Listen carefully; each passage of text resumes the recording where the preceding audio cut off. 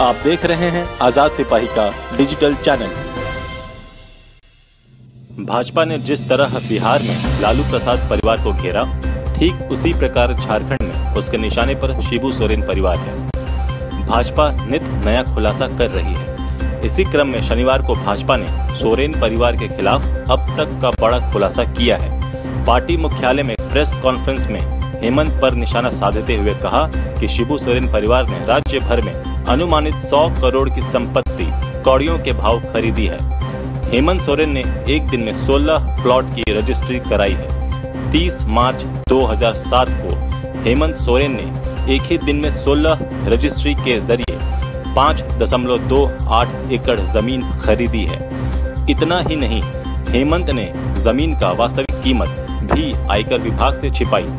साथ ही उन्होंने 2014 के विधानसभा चुनाव के समय चुनाव आयोग को जो हलफनामा दिया था, उसमें भी संपत्ति की सही जानकारी नहीं दी थी। शनिवार को भाजपा के प्रदेश उपाध्यक्ष समीर उरांव और प्रोफेसर आदित्य साहू ने संयुक्त प्रेस कॉन्फ्रेंस कर यह धमाका किया है। ज़मीन से संबंधित डॉक्यूमेंट भी पेश किए। उनके साथ भाजपा के प्रदेश प्रवक्ता राजेश शुक्ला, प्रतुल शाहदेव और मीडिया प्रभारी शिव पूजन पाठक उपस्थित थे। भाजपा ने डॉक्यूमेंट के साथ यह खुलासा किया है कि हेमंत सोरेन और उनके परिवार ने अपनी सभी संपत्तियों को अंडर वैल्यू करके दिखाया है।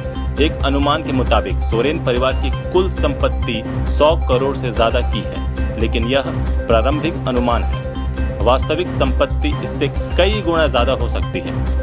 कहा कि भाजपा अभी और खुलासा करेगी।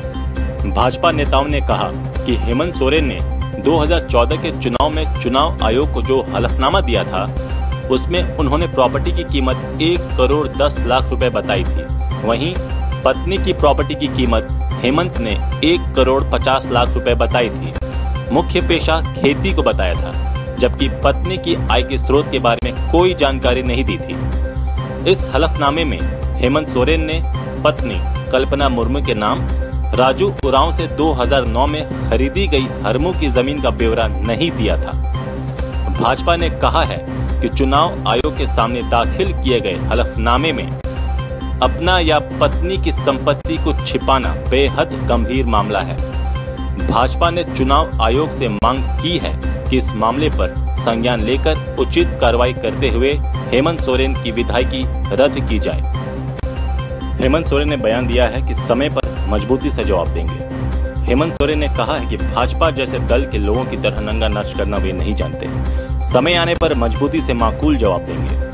हेमंत सोरेन ने कहा कि सौ सोनार की चोट पर एक लोहार की चोट होगी। जो साहूकार उन पर आरोप लगा रहे हैं, पहले वे अपनी गिरेबा में झांके। जिन लोगों ने सालों तक राज्य ही नहीं, देश के आदिवासी दलितों का शोषण किया है, उन्हें इस तरह का सवाल करने का हक नहीं है। सीएनटी एसपीटी एक्ट उल्लंघन और चुनाव आयोग को गलत सूचना देने के मीडिया के सवाल पर हेमंत सोरेन ने कहा कि सरकार भाजपा की है। वे चुनाव आयोग जाएँ या जो भी चाहे करें, भाजपा को अब खुद पर भरोसा नहीं रह गया है। इसी का नतीजा है कि वह अब चरित्र हनन पर उतर गई है। खबरों से जुड़े रहने के लिए आप इस चैनल को लाइक करें, सब्सक्राइब करें और शेयर करें। धन्यवाद।